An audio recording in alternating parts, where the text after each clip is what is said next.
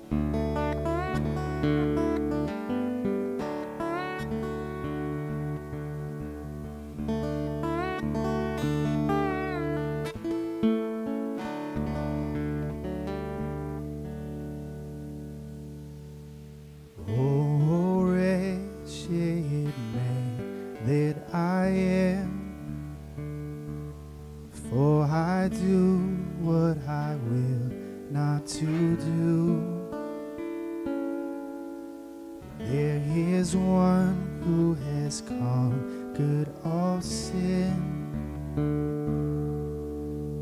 In his strength I find peace to rest.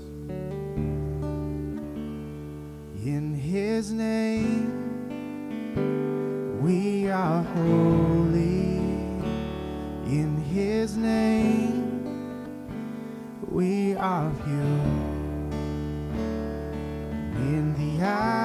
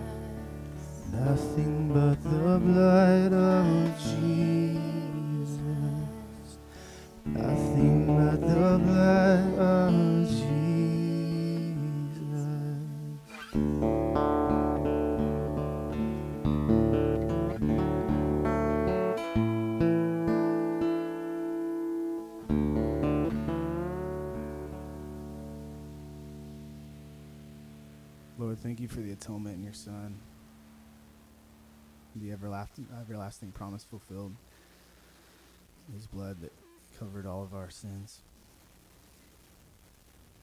Just continue to be with us in our hearts and minds as we go through your word and, and seek to know more of you. In Jesus' name, amen.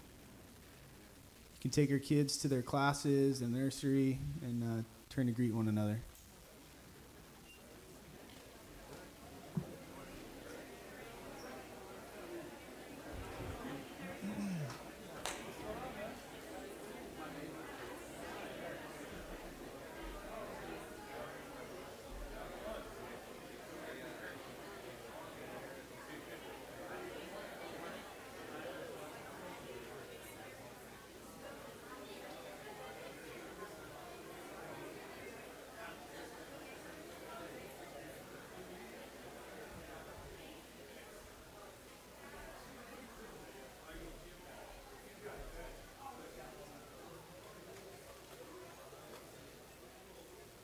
Good morning. How y'all doing today? I hope you had a blessed Thanksgiving.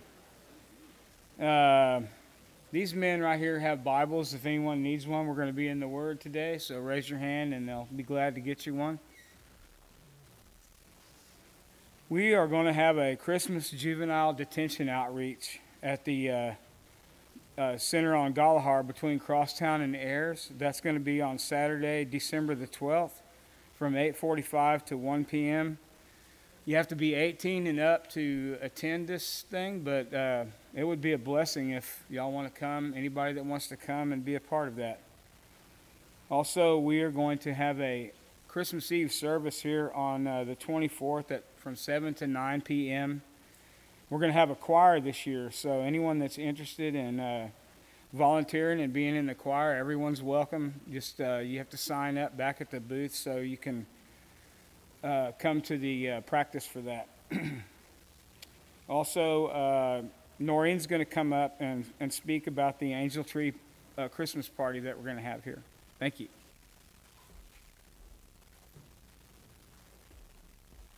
Good morning. Okay, first thing I would like to ask of all of you is that you would be praying for our missionaries that are in Peru. They are really wanting to come home for Christmas. They haven't been home in three years as a family together, and so they'd like to come back and be here for a couple months. So if you can be praying that the Lord will provide for them, just write their names down. It's the DJs, and um, just pray that the Lord can provide. Also, last week we talked about Angel Tree, which is our um, ministry to kids whose parents are incarcerated. And if you weren't here last week, what we do is we have a big party. We invite, we have 40 kids that we're sponsoring. We invite them here, give them lots of cookies and have fun and do crafts and a play and sing. Um, but last week was our first week that we announced it, and all 40 kids are gone. They've all been sponsored, so praise the Lord. Thank you so much for that. So if you signed up for a child, this is your this is what the angel looks like. There's a little tree out in the hallway. You can go pick up you can pick a child off of the tree, boy, girl, age, whatever you whatever you want. And um, and then by next Sunday, we need the gift back. So if you can bring it back or sometime this week. Um, but so if you signed up for a child, um, then go ahead and go pick up your angel. Also, we have one more ministry that I, I talked about last week too, and this is Syndeo Ministry. Does anybody know what Syndeo Ministry is? Only a few of you. Have very many of you heard of Hannah Overton? Okay, well, this is a ministry, yes, this is a ministry that the Lord has opened up for Hannah and her family and, um, and our church. We um, need 1,400 women sponsored, um, $10 a piece, and they will get a gift box at Christmas. Women that have been that are incarcerated. So, ladies in Gatesville Prison, 1,400 of them will get a gift box. And so, our church and other churches are helping out with that. But these are the little ornaments, and you can give ten dollars or however much you want, how, however many ladies, but it's ten dollars per lady. And then they will get things that they really don't get, like lotion and shampoo and um, deodorant. They aren't given all those necessities that we're so used to. Um, and we're even giving them chocolate because you know ladies need chocolate. So, um, so it's a blessing. So if, if the Lord lays it on your heart to give that, and then you'll get one of these ornaments, you hang it on your tree and pray for, for those women. All right, that's it. God bless you.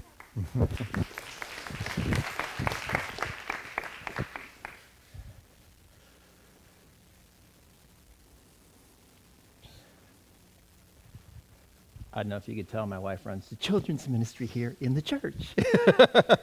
Anyways, she needs help. I love those announcements. A three year old would understand them. Cool. Anyway, Syndeo is an awesome ministry, and, um, uh, you know, Hannah's been out of uh, prison for almost a year now. And about six months ago, we went ahead and we incorporated uh, this new ministry called Syndeo, which means um, bound together with them out of Hebrews chapter 13, uh, verse 3. And um, the neat thing is, you know, she's never given up on those ladies that she ministered to for those seven and a half years up in Gatesville. And so it's starting in Gatesville. And the neat thing is, the last few years we've given out these Christmas uh, gifts uh, to some of the ladies who never have a visitor, never receive any money into their account, so they can't buy, you know, regular toothpaste. They just use they just use um, um, baking soda, baking powder for toothpaste. That's all they get from the state of Texas. And uh, so many of these ladies, it's, it's just an opportunity for them to receive something. So we've been doing that in the past for maybe 100 ladies. And uh, so uh, Hannah went to the uh, warden and had such a good reputation that the warden goes, "Hey, I got an idea. Why don't you provide these for 1,400 women, all the women in the whole in the whole unit?" you know. So it's like Hannah's like, uh, okay, I guess this is an open door. And I was just teasing her because that's just a huge step of faith to provide that much for that many women with a ministry that has just barely started and, and doesn't have a whole lot of funding yet and everything. But uh, we are very excited about it. And I tell you what, um, you know, it's juvenile hall, the angel tree, and the prison ministry as the Lord has drafted us into that, uh, that group of people. And there's probably few better ways to reach out to people uh, than to reach out to those that are incarcerated because they've been forgotten by the world. And when you remember them, it just absolutely reflects the love of Christ in their life because he, he accepted us, right? And, uh, and as we accept them, we can show the love of Christ in their lives. So it's just huge. And, and uh, that ministry is going to continue uh, to grow and, uh, and be blessed. But uh, this Christmas, they do have an overwhelming thing, so it's a great thing to be a part of. All right, we're in 1 Thessalonians chapter 5 this morning. Let's go ahead and pray, and we'll get into the teaching. Dear God, as, as we live in these crazy times, Lord, may it be that we are aware, that we're awake, that we're attentive, that we're studying, that we're plugged in, so that we're not overtaken unawares. And Lord, not only help us be alert, but help us be ready at the ready to be those that build your kingdom by adding others to it, those that build up your bride, that love on your bride by us loving on one another, and those who bring great pleasure to you by fellowshipping with you on a daily basis, God. And may it be that we're those people. And may you take this study today just to be a building block in our lives towards you, that we would just uh, allow those things to stick that are needful, God. And so we just lift up this day. Lord, help us to work through the complex things and hold on to those things that are clear for our lives. And may your Spirit just uh, ingrain them deep in us so that we leave with these things, that this uh, morning would be fruitful. In Jesus' name, amen. So, Paul writes a letter to the Thessalonians. They're a small church in Thessalonica, the principal city for the Roman Empire there in the in the province or the state, large county of Macedonia. Um, they're an important city. But Paul had just spent a short time there, and then Paul was kicked out of the city through great persecution. And as he's kicked out of the city, he's worried about them. He travels away, and he sends back Timothy to bring a report, to encourage them, and to bring a report how they're doing. Paul's in Corinth waiting for Timothy to return, he returns with this glowing report of how well this church is doing.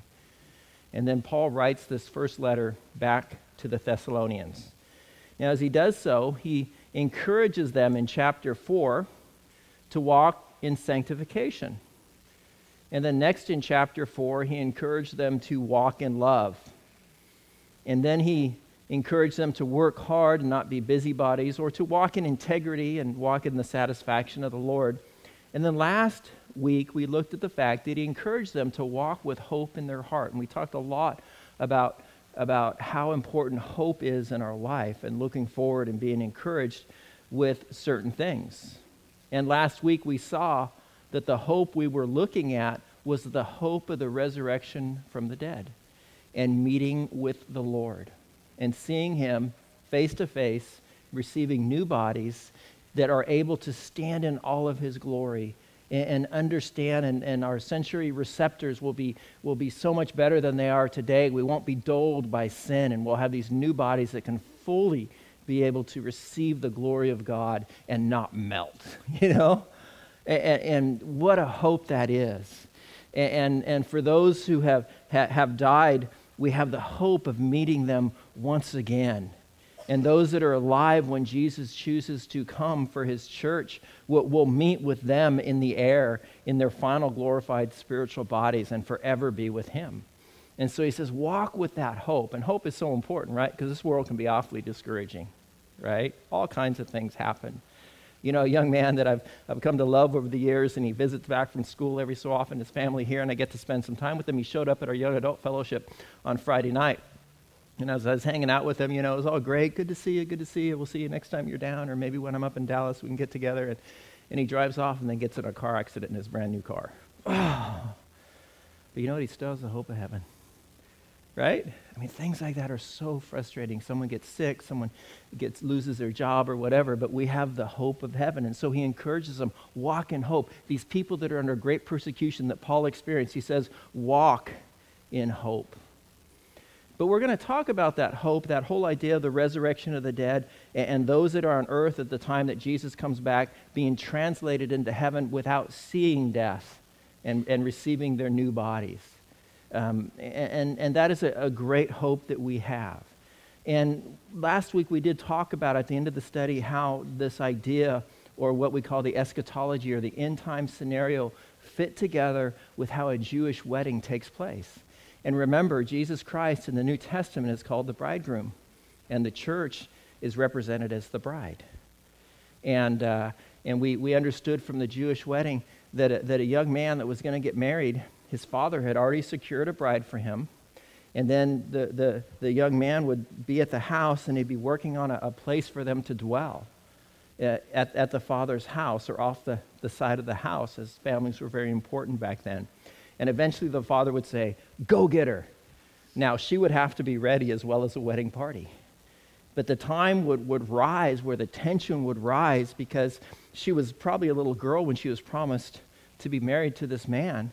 And eventually, when she got married, she would be mature and ready to get married. And so the time would, it would seem to, to, to they would be anxious about it. Like, we're ready, it's time, it's coming. And all kinds of signs would be ready. And, and so their hearts would be anticipating that time. And then when that happens, man, the, the, the, the son would go get the, the bride that was secured for him, and he would take her from her place, and he, he would bring him back, and they would have a party for seven days.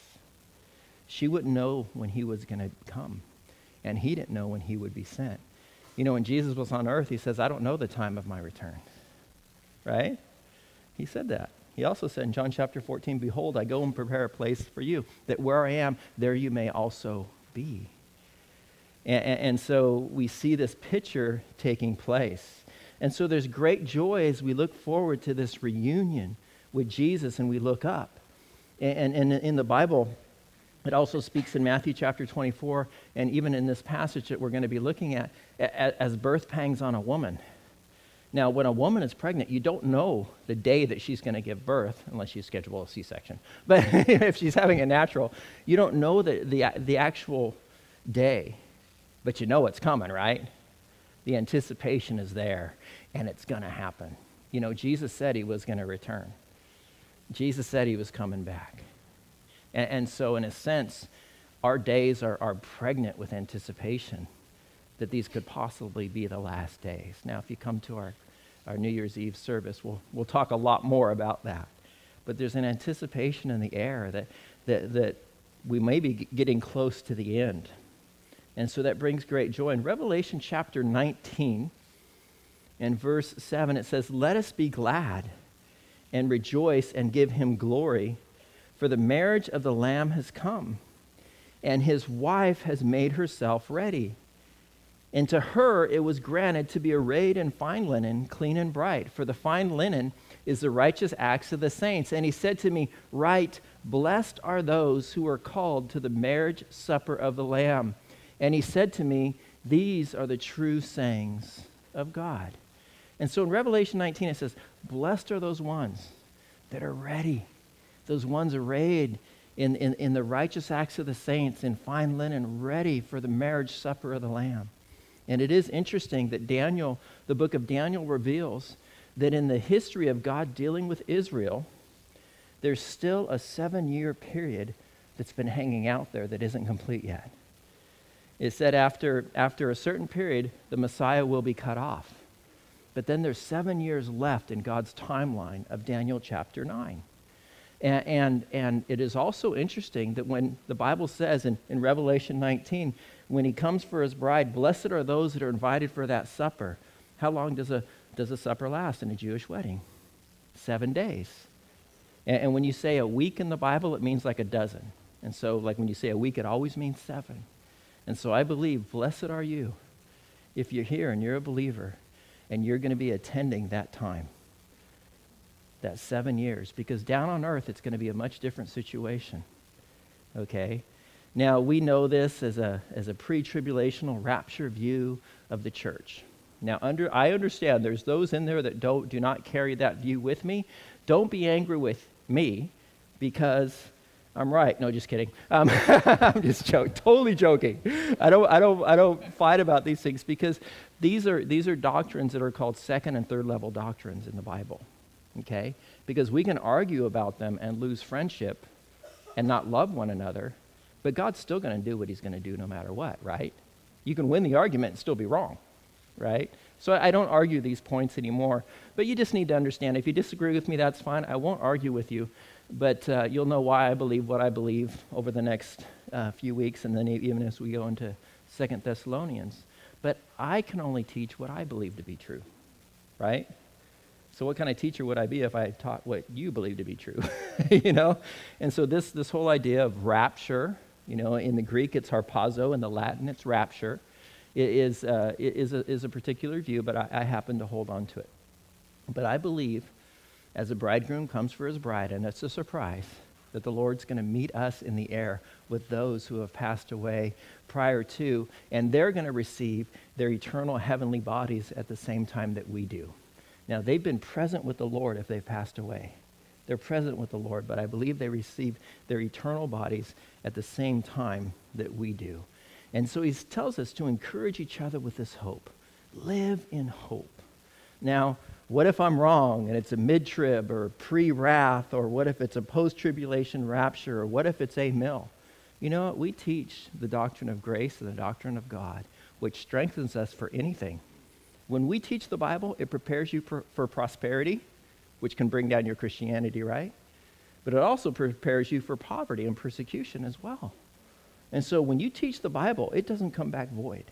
And so we teach the Bible, you know, and so I'm not too worried, like, okay, what if I'm wrong? Well, I study and, and try to show myself, and I have many reasons, you know, to believe what I believe. But the thing is, we teach the Bible, we hold on to God's grace above anything else. Okay?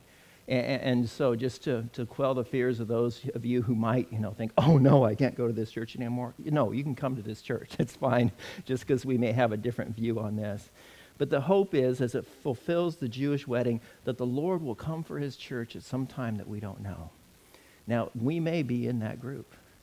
And so he's talking to these people and he's saying, if someone's died before and you're in that group, you will see them again. So he encouraged them with that. But now he goes on into chapter 5, verse 1, and he says, But, concer- but concerning the times and seasons, brethren, you have no need that I should write you, for you yourselves know perfectly that the day of the Lord so comes as a thief in the night. But when they say peace and safety, then sudden destruction comes upon them as labor pains upon a pregnant woman, and they shall not escape. And so, introduced to us is this idea of the day of the Lord. And generally speaking, that means the time that God will judge his enemy and deliver his people and establish his kingdom. And so you're thinking it's one day. Well, the idea behind this particular use of the word day in the Bible is a period of time with a starting point and an ending point, but not necessarily one day. The day of the Lord, or the period that the Lord pours out judgment upon the earth. Okay? Now, you've heard the term, you know, he had his day in the spotlight. What does that mean? That he only had one day in the spotlight? No, it means he had his time in the spotlight, right? Or that he had his day in court. Well, if you've ever been involved in court, rarely do you just have one day in court, right? You have multiple days in court. And so he had his day in court. And, so the day of the Lord would encapsulate um, uh, many different events. Now, I believe that the day of the Lord begins with what we call the rapture of the church or the taking away of believers who are alive when Jesus Christ wants to start this day. Okay, we're going to see later that, that believers aren't appointed to wrath. And so if God is pouring out wrath on the earth, if we're still here, that wrath won't hit us. Okay, so I believe he takes us out of the way. Another thing that the, another reason why I believe we're not here during that day of the Lord and the pouring out of the wrath is because there's a spirit that is against God that has been that, that has been out there throughout history, right? A rebellion against God, an antichrist spirit, a spirit against God okay? And, and, and this, the Spirit has always been there. But eventually, in the last days, we're, we're going to read of a, of, of a guy called the Son of Perdition. We also know him as the Antichrist or the against Christ. And so, this attitude in the last days are going to be personified in a guy known as the Antichrist. Okay? Now, now here's, here's the, the problem with us as Christians being here. Listen, the Holy Spirit is always present. But when the Holy Spirit is present in you, He's driving you as physical hands and feet here on the earth, or should be, right? And you grieve the Holy Spirit when you don't live that way. So, why do we have way fewer abortion clinics today in Texas than we did a few years ago? Is it because of secular humanists trying to get rid of the abortion clinics? Or is it because of Christian believers passionate about a love for life that God gives and God takes away? Is it because of believers or unbelievers that abortion clinics are no more? It's because of believers, right? Why do we have hospitals out there today? 98% of the hospitals across the world have been started by Christians and Christian organizations. You guys realize that? Even though many of them become secular now, who started them in the first place? Where did all that good come from? Christians, right? You know, and, and so any restraint against evil comes from those with a real solid sense of morality. And what happens if the Holy Spirit's fleshly hands and feet were removed from the earth all of a sudden? Would there be a freedom to just run towards evil? What would our school systems be teaching our children if it wasn't Christians complaining to the school boards about what they're teaching? All kinds of chaos, right? All kinds of craziness. And, and, and so, if you would, turn with me to Second Thessalonians chapter 2.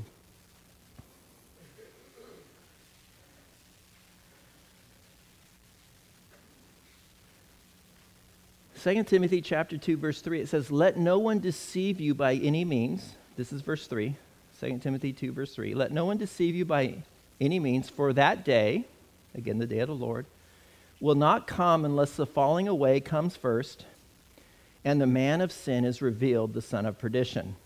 First of all, it talks about a falling away, and I believe that's a falling away of the church from God. Does that mean everybody will fall away? No, there's always a remnant. But I believe we're seeing a falling away of the church from God. Because listen, there's very few major seminaries in this country, Christian biblical seminaries, that actually teach the Word of God as inerrant and, in, and authoritative. There's very few Christian seminaries out there that teach that God created and they embrace evolution. They believe that Adam and Eve are just a nice story to teach principles. They believe that Noah is just a nice story to teach principles, and all the patriarchs, Abraham, Isaac, Jacob, they're just nice stories and illustrations to teach principles, good moral principles.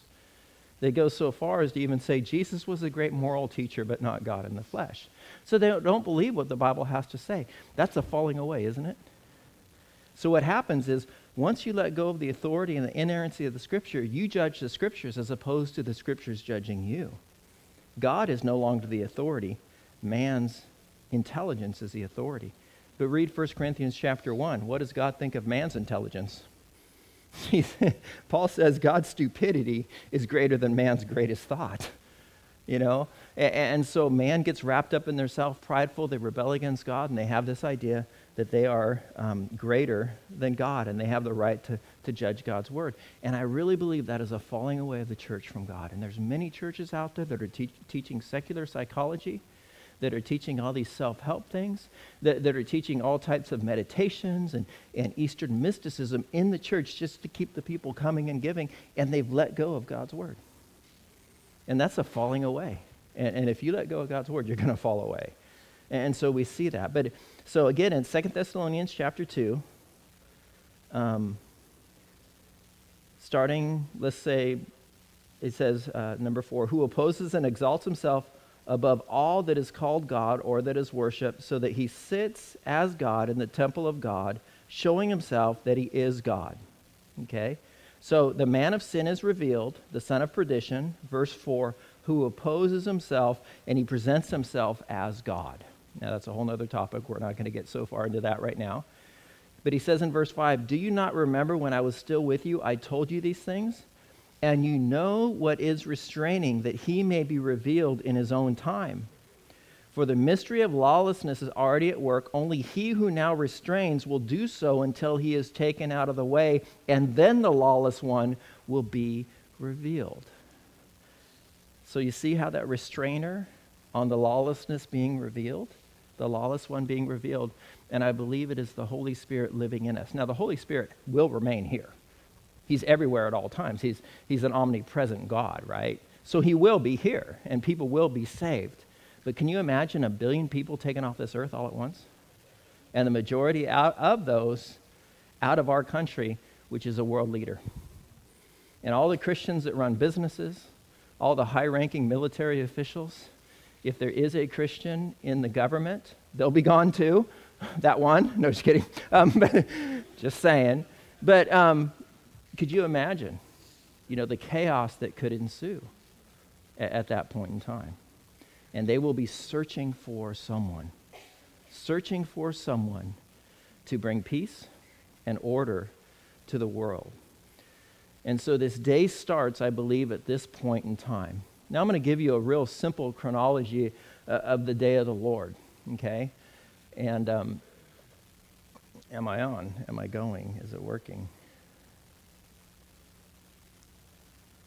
Ah, there you go. Voila. Okay, so first of all, the removal of the church, or the removal of the power of the Holy Spirit through the church on the earth the revealing of the Antichrist that I just spoke of, spoke of, that attitude will be encapsulated in one person.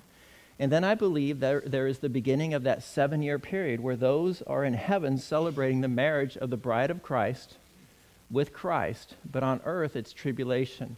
Now, I believe, believe specifically that God is dealing with the nation of Israel. That's his time clock. And so there's promises in the Old Testament that have not been fulfilled yet. And one of those promises that Israel as a nation would follow after their Messiah, Jesus Christ. Jesus Christ is Israel's Messiah. They just don't recognize it. And they will come to recognize Jesus Christ as their Messiah during that time. And specifically, halfway through the seven year period, this Antichrist is going to go and he's going to declare himself as God. And they're going to go, wait a second here. And that's when I believe many of them will come to the realization of, that Jesus is the Christ. Now, at the end of this time, you have a battle, you've heard of it, it's the Battle of Armageddon. It's a series of battles that take place all over Israel, but they finally end at the Mount of Olives there in Jerusalem, opposing the eastern gate of the Temple Mount.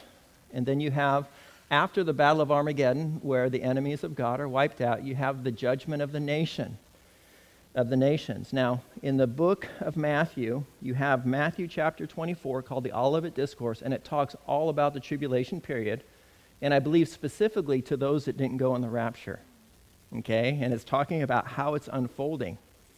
And then you go into chapter 25 and you see this thing called the sheep and the goat, goat's judgment.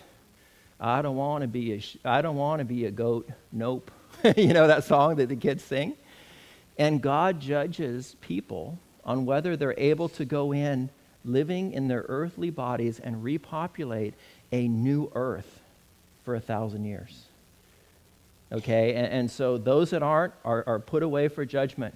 But those that are, that are allowed in, those that become believers, Jews and Gentiles alike, during that seven year period, are going to repopulate the earth in what is a thousand years of Christ's reign on the earth. Another promise that God had given the Jews is that David would have a descendant ruling and reigning on the throne of David.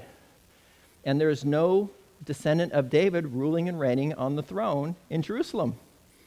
But Jesus Christ is a descendant of David, and he will rule and reign for a thousand years on earth. We know this if you're a biblical literalist as a millennial period, as a literal thousand years reign of God on earth. Now, this earth is much different than it is now. It's described in the Old Testament where the lion lays down with the lamb. You don't get that, right?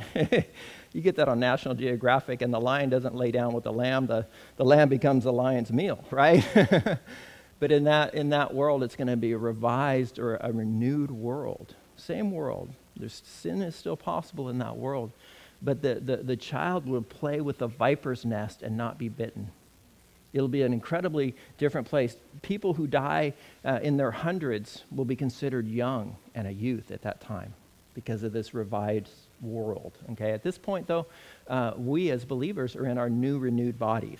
We're ruling and reigning with Christ, and that's a, a promise we have. Okay, so there's a thousand years reign. And then what happens at the beginning of the thousand years, Satan is restrained.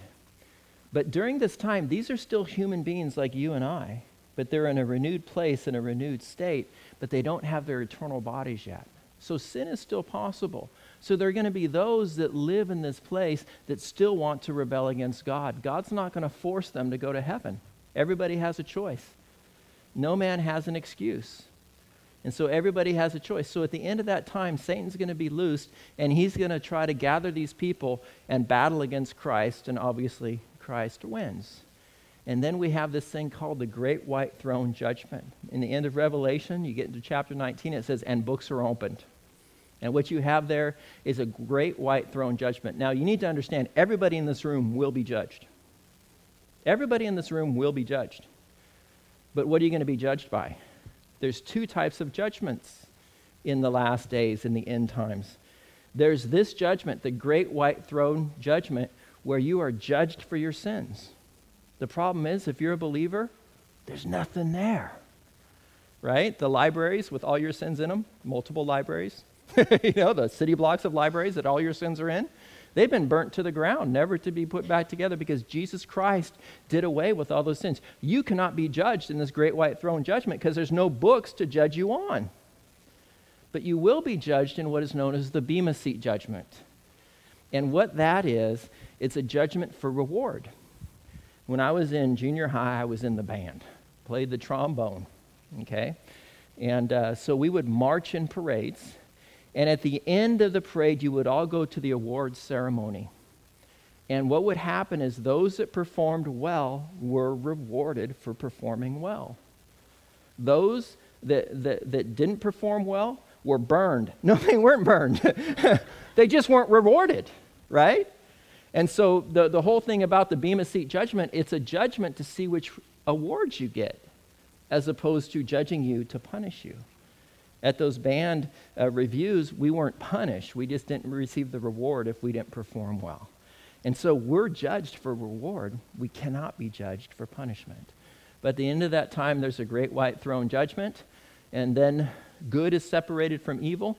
And then John says, He saw a new heaven and a new earth, and then he describes a new Jerusalem coming out of heaven. And he tries to describe it, right, with human words. But he's seeing a vision of what it looks like, and he can't describe it. So much so that he says, and the streets are transparent gold. And we're like, what? And all that is, is him trying to describe with his mind what heaven looks like. When, when Paul was given a vision of heaven, he said, it, it would be sinful for me to try to describe it. It's so incredible. But what John says, he talks about the radiance of the throne of God in the center of this New Jerusalem. And the way he describes it is a, is a cube, a condo complex, 1,500 miles cubical. And, and in the center is the throne of God. There's no need for the lights of heaven, even though we have a new heaven and a new earth. So there's probably celestial bodies out there and everything, but there's no need of it because the brightness of the Lord's radiance is at the center of it. And from the throne of God comes the waters of, of living water wrapping all through the city. And I don't know if it's 3D, like if you can walk upside down a matrix or whatever. I don't know, but, but it's going to be an incredible place. And there's going to be these trees that are growing by the, uh, uh, by the rivers of life there's going to be the, the, the, trees of life, and they're going to be bearing different fruits in their different seasons off of the same tree. And we're going to be able to walk around this place and, you know, go to worship services and hang out. And, you know, it's going to be this awesome place and, and have purpose and everything else, too, within this whole new creation, a new heaven and a new earth. It's coming. And in that place, no more sorrow, no more pain, no more suffering, because our sin nature is now gone. The DNA that we inherited of sin and, and, and the committing of sin will no longer dwell in this place at all. You guys realize when people say, you know, I don't believe in a God because there's evil in this world, you ask them, well, how are you going to get rid of the evil? They go, well, what do you mean? Well, my God has a plan to get rid of all the evil in this world. He's going to separate evil from good. Where do you stand? Well, I'm pretty good. Okay, take them through the Ten Commandments. Have you ever dishonored your parents? You ever lusted?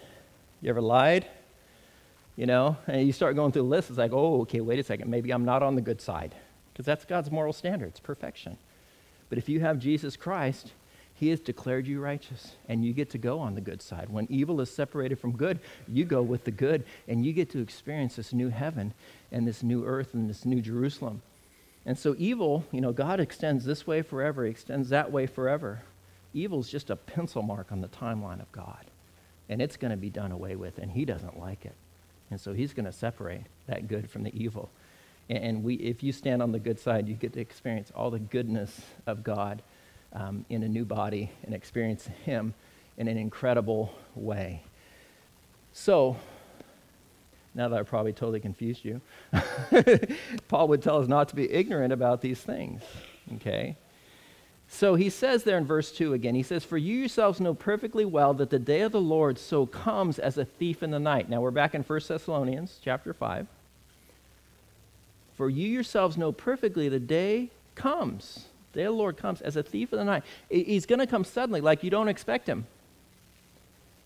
But listen to what he says here in verse 3. He says, For when they say peace and safety, then sudden destruction comes upon them as labor pains upon a pregnant woman, and they shall not escape.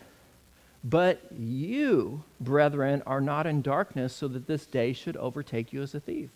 They are going to be surprised. You know why? Unbelievers do not expect Jesus Christ to come back because they don't even believe in him. And they don't expect this day to ever start because they just don't believe it, period.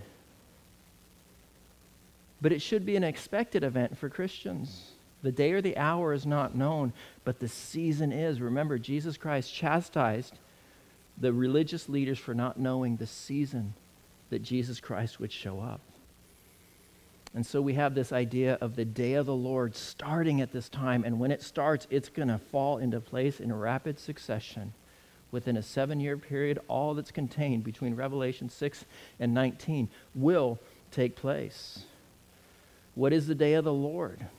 It's a day when God pours judgment upon the wicked. It's a day that people cannot escape the judgment of God. Now, in the Old Testament, he would pour out his judgment here and there. But in the Old Testament, it also foreshadows a greater day of judgment. Isaiah chapter 13 encapsulates and talks about both. But here, when he's talking about that coming upon you, when that day comes, listen, there's two different types of people mentioned there. Again, the theys. It comes upon them. They will say, peace and safety. They will have this false sense of security. They'll, saying, they'll be saying, all those Christians that are saying it's the end of the world, they're so dumb. Because look at it's peace. Look at this peace. And I want you to think about something. In Daniel chapter 9, it indicates that this one who is to come, this person we believe and I identify as the Antichrist, he's going to make a covenant or he's going to make a contract or he's going to make a treaty with many, it says there in Daniel chapter 9, to start this last seven year period. He's going to make a contract with these people. These people here, Paul says, they're saying peace and safety. Now, someone's going to make a tr- contract that looks like peace and safety, and it's going to be the beginning of this period of God's great wrath, the day of the Lord. And, and so, let me ask you a question. If you were in Israel today and you were an Israeli citizen, you'd be a little worried, right? Why? Because you're Jewish and you're surrounded by one billion people who hate your guts and are absolutely committed to your destruction. And it's written in most of their national constitutions. And it's also religiously written in their religious sacred writings that you are supposed to be destroyed and, and that you should not exist. And it is a religious act of worship for them to kill you. So here's the Jews, six million of them in this little country, like the size of New Jersey. I've been all over it, Israel.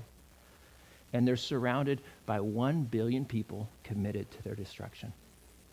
Now, if you were Israel, would you be looking for someone that would be able to make a peace treaty between you and someone else? Have you guys heard that term, peace in the Middle East? Has it happened in your lifetime? And every leader in America for as long as you've ever lived, have they ever spoken about trying to get peace in the Middle East? Every single one of them has tried, right? It's almost, they, they make so many agreements and they're blowing every time. They're broken every time between the Palestinians and the Jews. This is front page news around the world all the time, 100% of the time, every day. You hear about Jerusalem. Itty bitty country. If you're in Israel, if some man came and he said, I've now created a peace treaty between you and the Palestinians, so much so, and this peace treaty is so radical, and this man seems so incredible that the Jews are going to be able to build a new temple on top of their Temple Mount where the Al Aqsa Mosque exists today. How is that going to happen? Is this guy going to be an incredible guy? he's going to seem awesome. Everybody is going to be praising his name, right? So, this man that comes along that makes a treaty with many, and this man that looks like the best thing ever, and everybody's saying, Peace and safety. We finally have peace in the Middle East. We have it now. And look at you guys. You're all, you're all, no. They're saying peace and safety. And when they say peace and safety, watch out. Because that's the beginning, and it starts. And what happens is they begin to sour on this guy throughout the tribulation period. And halfway into the tribulation per- period, as they've been allowed to build this new temple, he goes into the temple of God and he declares himself to be God. Various other places in the Bible that's called the declaration that causes desecration. And at that point, I believe they wake up to the fact, and the Lord tells them, Run away from that place, and I will protect you in the desert. And many people believe that's the city of Petra today. So you got a bunch of Christians stuffing Bibles in the cracks out there in Petra. I've been there as well. it's crazy, but there's scriptures everywhere, and everybody's sticking scriptures there because when the Jews run away, they want them to know what it's about. I'm not sure if Petra's a place or not, but God's going to supernaturally protect them during that time. You see, the Old Testament says Israel as a nation is going to follow after God someday. Have they done that? Jesus is their Messiah, but at that point in time, they're going to recognize Jesus truly is their Messiah and they will come to know him as a nation. Okay? And so there's these people that are in darkness that don't understand, that are overtaken. But there's also the second type of people found in verse 4 of chapter 5. It says, But you, and that's any believer, that's you here today, are not in darkness so that this day should overtake you as a thief. You are sons of the light and sons of the day. We are not of the night nor of darkness. You are not in spiritual ignorance. Now, the problem is a lot of Christians walk around in spiritual ignorance, right? I love those people said, I read the Bible once. And I look at them like, and they're like, Aren't you impressed? I know everything there is to know about God. Right? I'm like, wait, wait, wait, let's back up here. Because you know, I keep on taking classes and new programs and setting new goals and everything else. And I tell you what, the more I know about God, the more I, I know I don't know about God. And exponentially, I don't know why I do this, but it's this weird hunger. I want to know more. And the more I know, the more I know I don't know. And it happens all the time and then I'll take a class on this and, and, you know, and then study and, and look into the Greek and the Hebrew, and then I'll go back to a passage that I've read and maybe taught five times verse by verse, and I'll read through it again. I'll go, oh my gosh, how did I miss that? I'm so dumb. God's up there going, yeah, but I still love you. you know, it's like, I just, my goodness, there's so much there. I read it once, and a lot of Christians are that way. It's more important than, uh, Facebook's more important to know than God's book, right? But what's more important to know? That which lasts for eternity or that which is old news this afternoon? Right? Facebook is old news in a few minutes. Your Bible is eternal. We need to invest in it. Don't walk around in ignorance. And that's what he says. But you know differently. And this is Paul teaching them for a few months. Matthew chapter 25 tells a story that we're to be prepared, tells a parable Remember, Matthew chapter 24 talks about the tribulation period. And then Matthew chapter 25 opens up with this parable. Starting in verse 1, it says, The kingdom of heaven shall be likened unto ten virgins who took their lamps and went out to meet the bridegroom. Now, five of them were wise and five were foolish. Those who were foolish took their lamps and took no oil with them. But the wise took oil in their vessels with their lamps. But while the bridegroom was delayed, they all slumbered and slept. And at midnight a cry was heard Behold, the bridegroom is coming out. Go and meet him. Then all those virgins arose and trimmed their lamps. And the foolish said to the wise, Give us some of your oil, for our lamps are going out. But the wise answered and said, No, lest there should not be enough for us and you. But go rather to those who sell and buy for yourselves. And while they went to buy, the bridegroom came, and those who were ready went with him into the wedding, and the door was shut. Now that's the door was shut. You're too late. Verse 11 Afterward, the other virgins came also, saying, Lord, Lord, open to us. But he answered and said to them, Assuredly I say to you, I do not know you. Watch therefore, for you know neither the day nor the hour which the Son of Man is coming. And so oil always represents the Holy Spirit. The Holy Spirit, if you're a believer, has been planted in you and sealed, and it's a guarantee that you belong to God. Okay? And so don't be foolish and wait, he's saying. Don't be surprised, but don't be foolish. Be ready. Be aware that this is the season. Again, it's the whole wedding scenario. The, the woman has come of age and the time is rising, and it's like it, it, the time has come, and let's man, I'm ready to get married. I know my, my, my husband, my future husband is ready to get married. Let's get married. And, and, and they're ready. You need to study the scriptures. You need to be aware of what's going on around you. And be ready, for the Lord will be coming. Do not be surprised. And so back in Thessalonians, 1 Thessalonians chapter 5, verse 6, he says, Therefore let us not sleep as others do, but let us watch and be sober. For those who sleep, sleep at night, and those who get drunk, get drunk at night. But let us who are of the day be sober, putting on the breastplate of faith and love, and as a helmet, the hope of salvation. Don't be spiritually asleep. Be awake and be alert. Let your faith grow. How do you grow your faith? You read the Word of God and you do it. And when you read the Word of God, it has promises with it. And as you do the Word of God, these promises come true. And then the next thing the Lord asks you to do, you're more ready to do it. You have more faith to do it. I remember when I bought a house here in Corpus Christi, I was shocked that they even gave me a loan. I was in the ministry in California, and, small houses in California cost a half a million dollars. I thought, I'm never going to own a house. It's just the way it was. So I moved to Texas, And uh, my first house I bought was uh, under $100,000, and they actually gave me the loan. And I'm like, I was shocked. But little did I know that God was just training me to be willing to step out in faith to have this property. You know, it's just a small step of faith, He provided. Next step of faith, He provided. Next step of faith, He provided. You know, and then, you know, this was only a step of faith to where when I uh, enrolled my daughter at Baylor that I'd actually have enough faith to believe that He would provide. And, you know, she's, a, she's on a full ride scholarship at Baylor. And that was a lot of faith.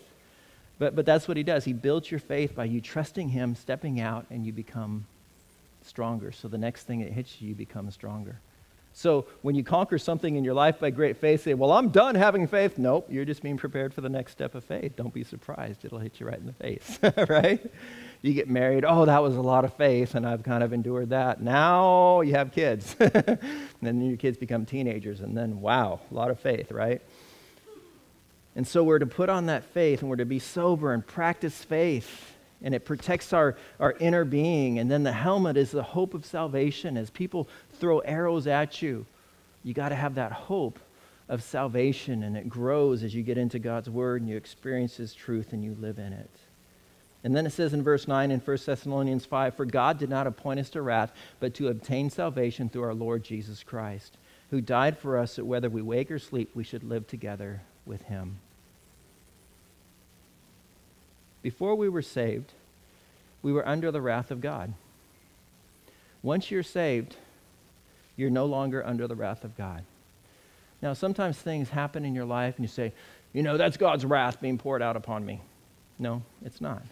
Sometimes you're allowed to go through discipline like a father disciplines his children.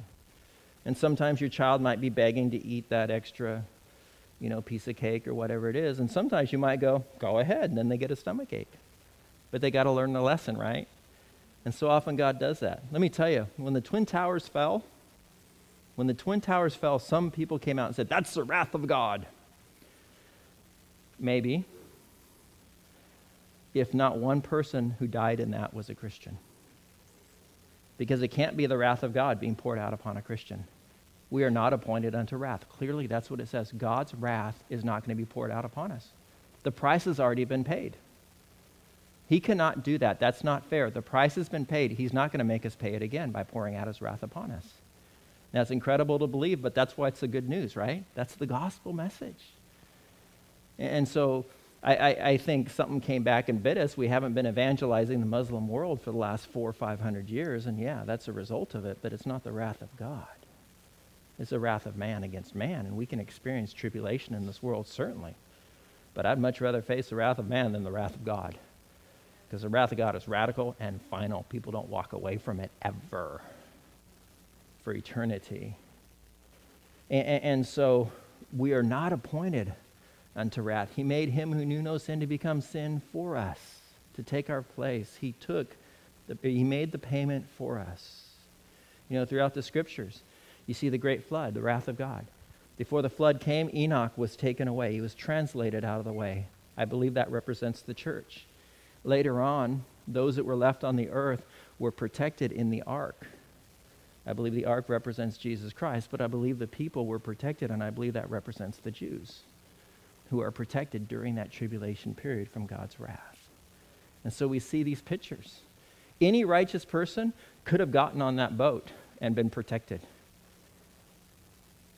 Then you have Sodom and Gomorrah. One guy was taken out of there, and his name was Lot. He wasn't a super righteous guy, but his sins were forgiven. And so he was removed from the judgment of God. Jericho, you have one person, Rahab. I want to be a part of these people. And God accepted that plea.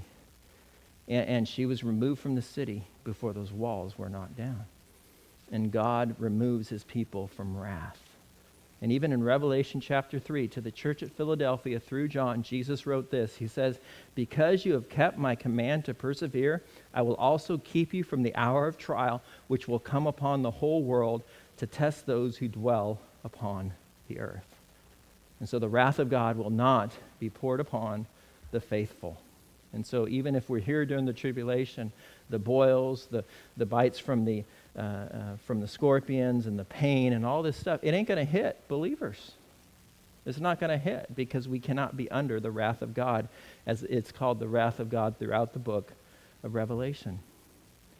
But we want to watch and be ready that we are counted worthy, Jesus said, to escape all these things that will come to pass and to stand before the Son of Man. And finally, it says in 1 Thessalonians chapter 5, verse 11, Therefore comfort one another and edify one another, just as you are also doing. Comfort, edify, built up, come alongside, strengthen one another, edify one another because of these promises. You know, we have awesome promises in the scripture. Oh, Pastor, I have a brother dying of AIDS in the hospital and he's lived a homosexual lifestyle. Can I encourage him? Yeah, bring him to Christ. Only one sin is unforgivable, and that's the sin of unbelief. You can give him hope right there. We have incredible promises. In the church, guys, we need to encourage one another. This world's crazy, isn't it? People always ask me, How's it going, Pastor? You know what I always say? Loaded question for a pastor. Because if my life is going great, your life ain't. You know, someone, you know, I'm, I'm going through life with other people who are going through trials. When my life's a mess, your life might be great. But I go through life, the church life, and individuals' lives, and, and I, I, I, I celebrate with people in the morning, at a wedding, in the afternoon, I'm sitting at someone's deathbed. How, how's it going, Pastor? Oh, mixed bag of lollies. How's it going, Pastor? Good, bad, and ugly. Right? I need encouragement too. And you need encouragement because your life is crazy as well. We're not in heaven, it's a crazy world out there. We can't make it heaven as much as we try. We can't make this place heaven, but we have hope for heaven. And we have a whole lot of awesome promises from God. And we can encourage one another. God's close to the brokenhearted. God hears you. God will give you wisdom. Let's pray for you. God is able to heal. But if not, He has a plan. You got a life insurance policy that no one can take away. You know, I mean, just honor. We get we got some incredible things to share with it to build one another up. And one of those things is, man, we got eternal life in Jesus Christ, and someday He's coming back. And this crazy world we live in, as we watch the destruction of our nation built upon Christian principles become a post-Christian nation, as we watch this crazy foolishness where people are declaring that men ought to walk into little girls' restrooms because they want to dress like a woman, and don't dare call them special needs because they're completely normal crazy world, man. And we could become so discouraged. But I want you to think about this God knows you, and He chose you, right? And He cares about you, and He chose you to live during this time. That's no accident. So you're God's ambassador to this crazy world, and you get to see it move towards the end, if not see the end. We're living in an awesome time for the light of the gospel. And there's so many people out there in despair, so many people tired of the lies. So many people out there. And we have, man, we live in an awesome time. And we see things happening around us, and then we read the Bible and say, God, you told us this would happen, and it is happening. Wow, that is so cool.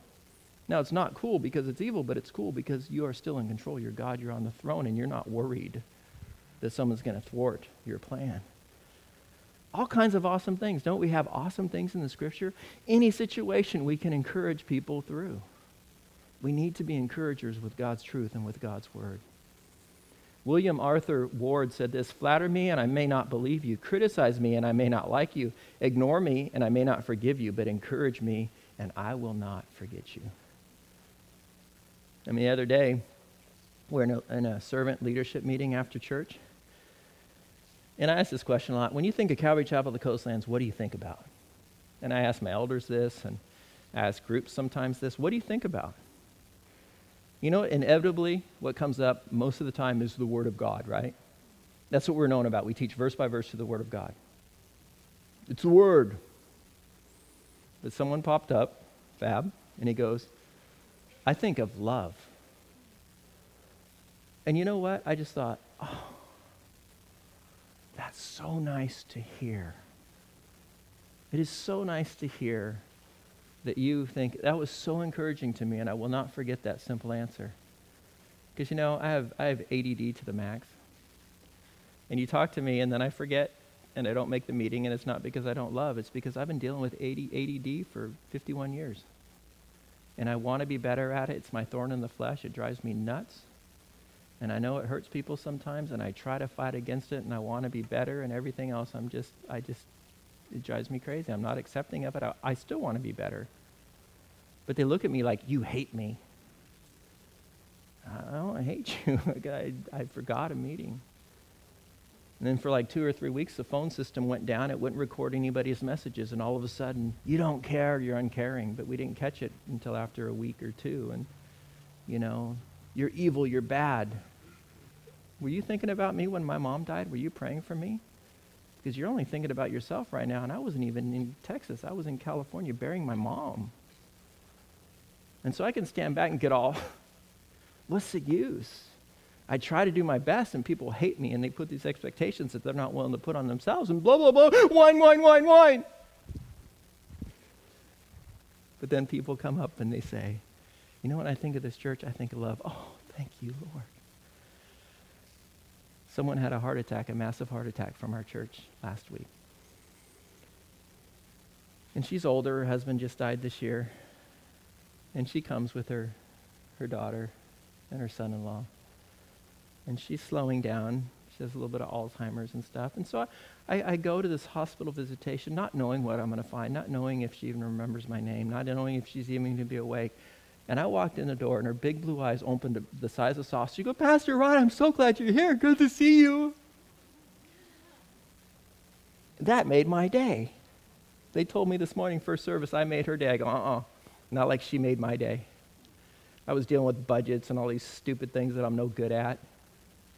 And I walk in there, and someone that's been, been in our church for years just looks at me bright eyed, didn't even think she'd remember him. She goes, Hi, Pastor Rod. And I know I get a lot of people slap me on the back and pray for me and everything else, say, Good job, Pastor. But if I need that, you need that too. I'm no different. Why don't we be the ambassadors of giving people encouragement from God's truth? Oh, do we need it? edify and build up the body of Christ. You know what's funny? When you build up the body of Christ, you know what you're doing? You're blessing God's bride. There's few things you can do better to me than bless my children and bless my wife. If you bless my children, you bless my wife, you've blessed me. And when you reach out to a brother or sister in the Lord, you're, you're blessing a child of God and you're blessing his bride. Oh, edify and build up one another with these words. Be encouraged, man. Our God rocks, doesn't he?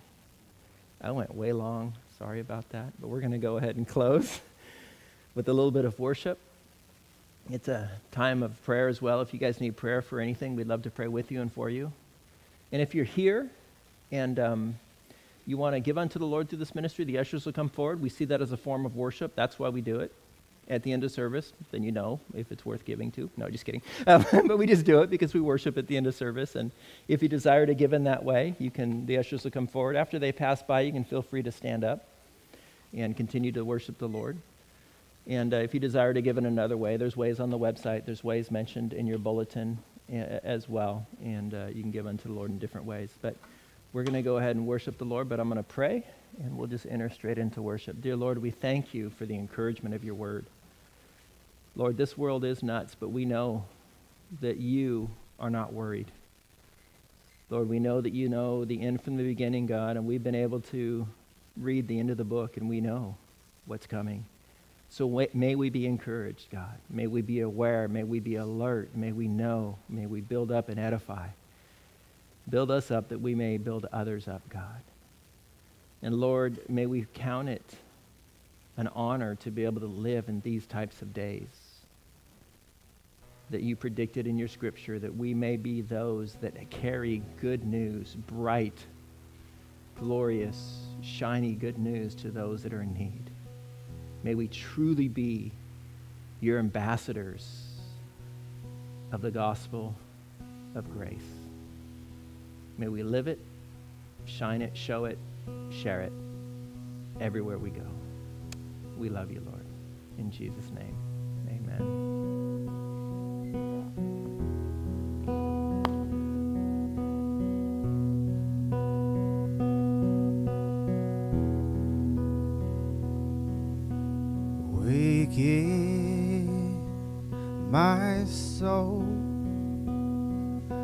My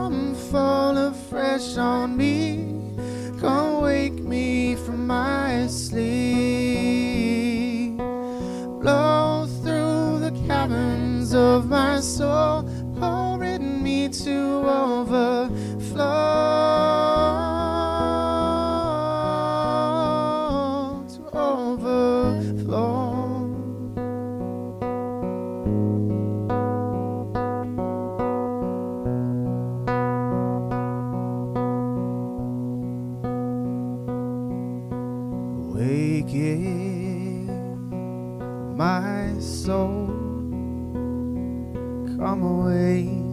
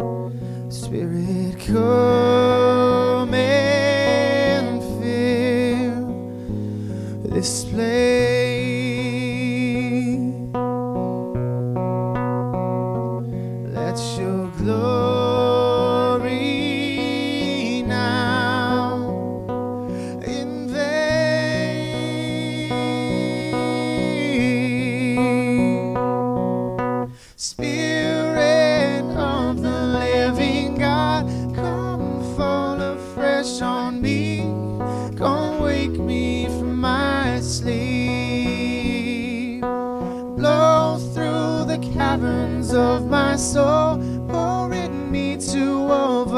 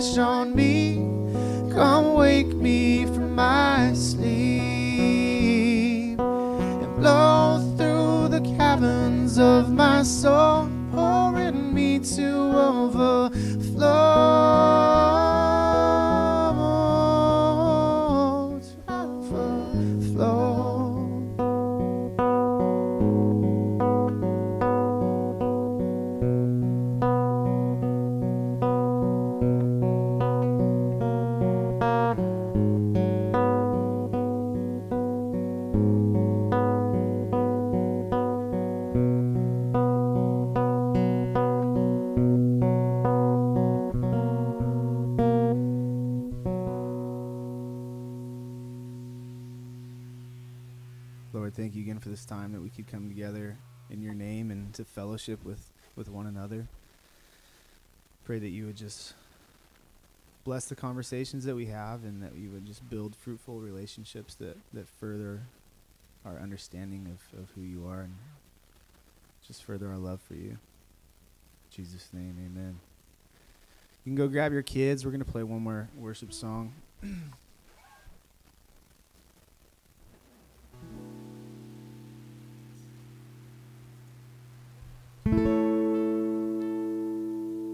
Lord, I find you in the seeking. Lord, I find you in the doubt. And to know you is to love you, and to know so little else I need you. Oh, how I need you. Oh, how I need you. Oh, how I need you.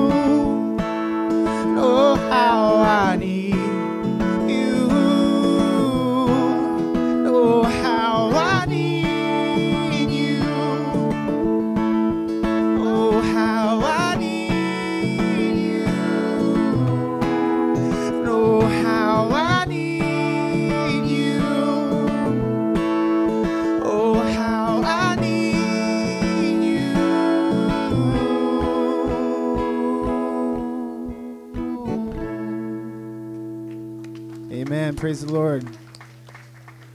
Have a good Sunday.